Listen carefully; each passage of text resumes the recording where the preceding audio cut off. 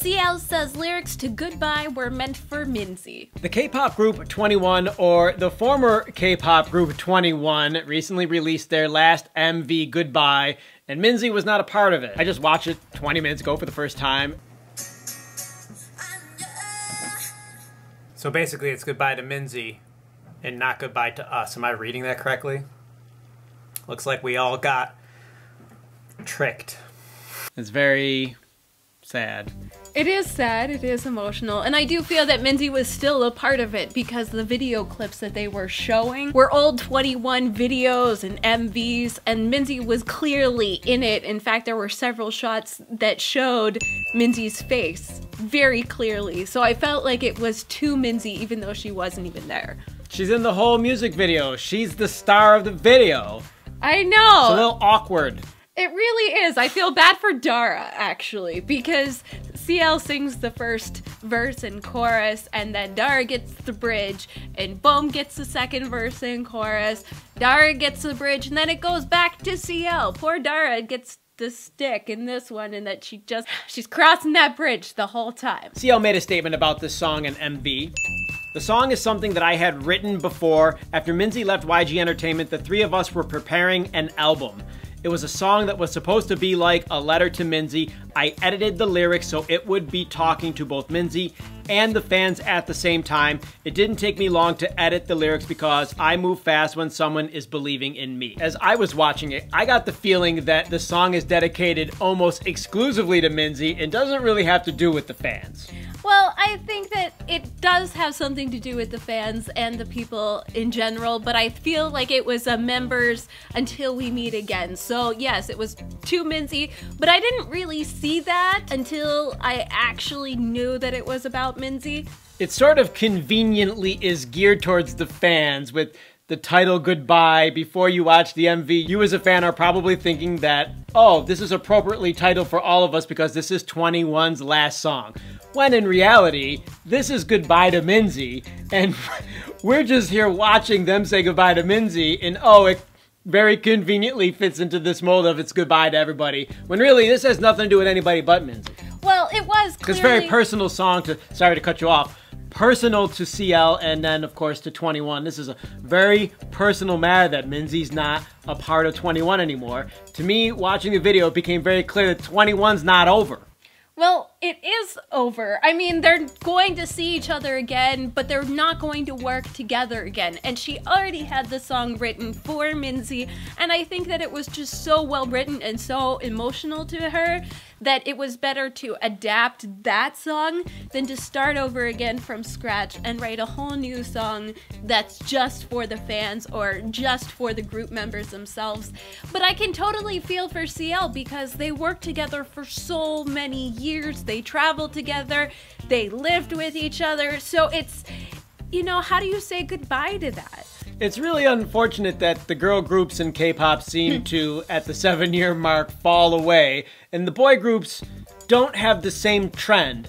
And 2NE1 seems to be fighting this trend of girl groups breaking up, and I can tell CL wants to keep this shit together. I'm gonna make a bold prediction here, and don't take my word for it, this is just my thinking, but as I was watching that video, I can tell they're gonna come back with an album. It might not be right away, it might not be for another six months or a year, but Park Bom's gonna be back, it's gonna be three of them, and they are going to lay down a fucking ridiculously awesome album for the fans, even if it's only a couple songs. Blackpink may be YG's new girl group and Blackpink's got a super bright future, but how can 2NE1 make a song like this, song written for Minzy, the rest of them don't seem to have any beef with each other and they're not gonna make any more music together ever? Like that's really hard to believe for me. Well, the only reason I would actually agree with what you were saying is they actually had a bunch of songs written for an album. Like they wrote this while they were preparing for an album. They recorded this. This was the only song song that they actually had recorded when Park Bom decided she wasn't going to renew her contract. And that's the hiccup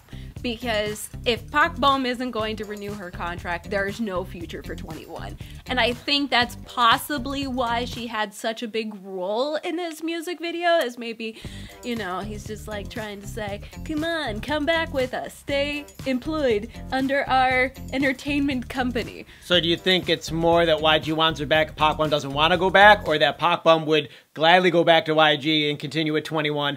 And YG is the one putting up the barrier saying, no, no, wait, we got to work things out because of your past that's happened with the drugs, etc. No, I think it's Park Bom. I think it's Bom that's been like, listen, you pulled me out of everything. You didn't let me work for like two years or something like that. And you only make money when you work in K pop. So that was like two years where she's living off of who knows? Royalties. It makes sense for Bom to try to go out shopping and see the best deal that she can get for herself in the future. Yeah, but I was just checking on Minzy's Wikipedia and seeing how she's doing.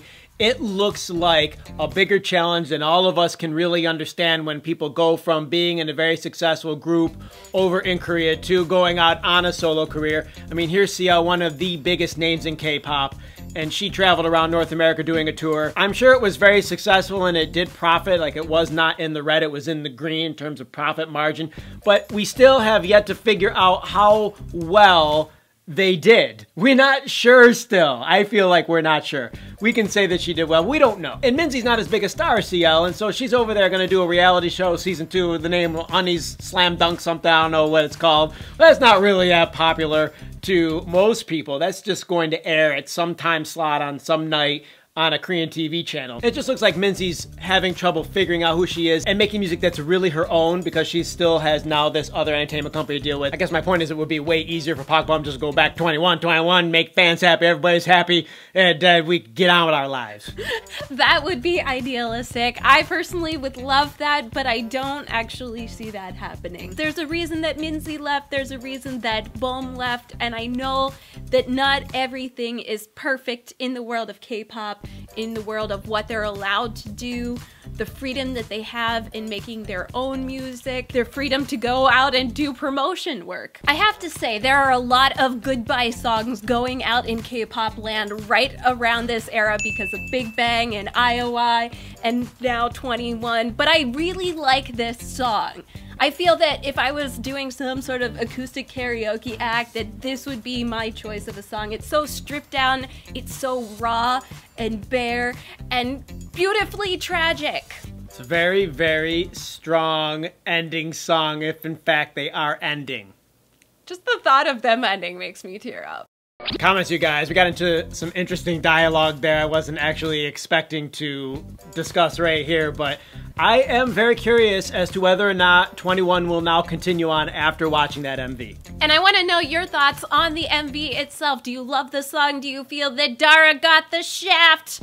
What are your thoughts? Comments down below. Click the like button while you're down there. Thank you so much for supporting us. Click the bell for notifications. Check out the link to KAYGAL and don't forget to subscribe for more Hallyu Back news. That's it. We're out of here. Hasta luego. Bye.